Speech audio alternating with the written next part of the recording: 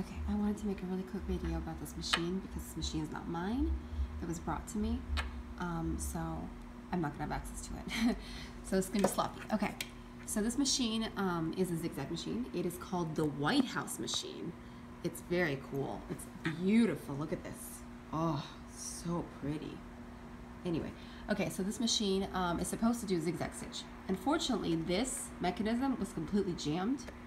So I just wanted to show you how to troubleshoot these machines and how to troubleshoot any machine that's really stuck um, when it comes to zigzag stitch. Okay, first all, open here. And the first thing you want to do before you even touch anything is oil the bejesus out of it. Okay, so this one has a screw right here. The screw is missing. And then it has a top screw right here.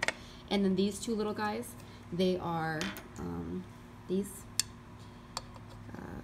This one screws in, this one actually detaches uh, also with a screw. But anyway, that comes off. So if you look at this machine, it's got, I'm not sure what this is. This might have a lever. If anybody has a manual for this machine, I would so love it if you could just make me a copy. I would be grateful forever. Um, I, I really love to see original manuals for these kinds of machines. Okay, so anyway, so we have the zigzag lever. So the first thing I do, actually I could see that it's got seeds in it. This machine has been sitting outside for a very long time. So it's got like debris I don't even know what the hell. Yeah, yeah. That's um, those are seeds. So it's it's all inside. It needs to be cleaned, obviously, which I will blow it out.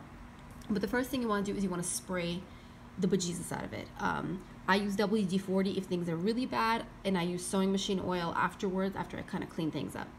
So basically, there's a, a, a lever right here.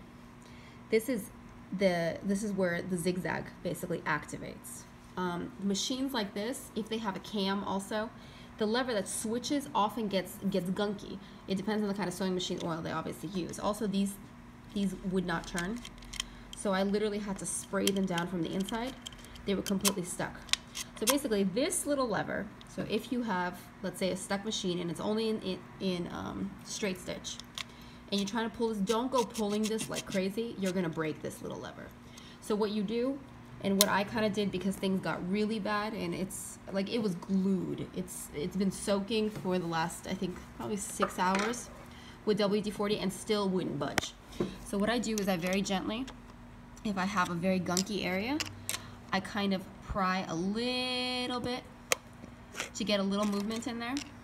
And that's kind of what I had to do to separate out. And anywhere you see a track, let's say you don't know much about machines, you see a track that something is going to move along that track. It's not just for fun, okay? So just assume that if something's not moving along that track, when you're moving on these little levers, something's wrong.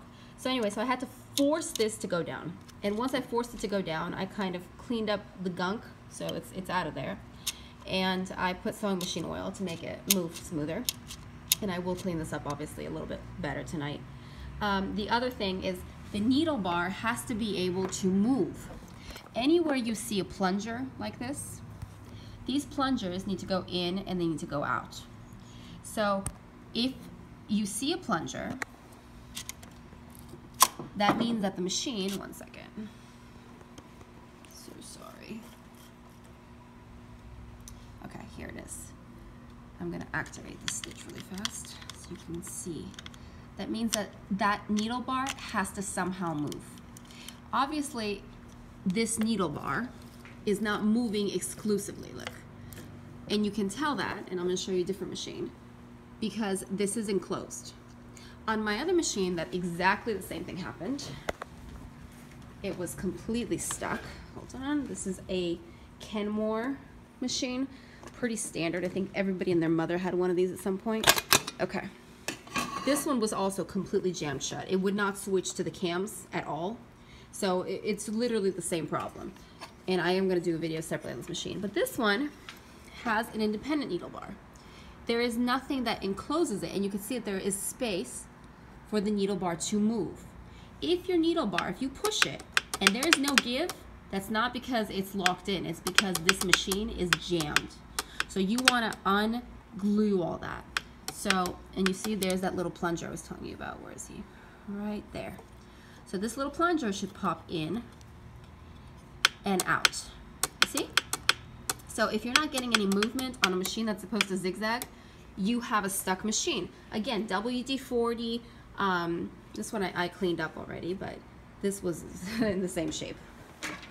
Okay, so back to this one. Okay, so once I got that freed, um, I could see that now this is going to, it, it unglued and now it's rotating back and forth. You see that? Okay, so the way this machine works is basically you have, and this is all very simple because machines, honestly, with metal gears, when there's nothing plastic in there, these machines, they don't break. So people bring them into the thrift stores all the time. They throw them out because the machine got jammed up because it's been sitting for 40 years with glue in it. It's not a broken machine. Um, nine times out of 10, I'd say even, I'd say 10, 9.8 times out of 10. There's nothing wrong with it. It's just jammed shut. So lubricate it properly and then look for any movement that's stuck. And then obviously uh, your timing can be an issue, but that's rare. Um, okay, so anyway, so this machine, it activates. Let me loosen this little guy. There he is. I tighten him. Okay, so he activates by pulling your zigzag lever and then locking it in place. So this wasn't working either, so I couldn't lock it. So every single time I tried to, you know, so it would just basically slide right back. My hands are very oily right now. But you want it to move very smoothly. So once you lock this in place, you're ready to go. And then this one is going to lock your position. My apologies. So you basically need to lock both of these guys to mark your position of how wide your zigzag stitch is. And if you don't lock this it's going to your your thing is going to slide out and it's going to become a straight stitch again. So now our machine should be stitching in a zigzag fashion. There you go. This is a very very cool machine.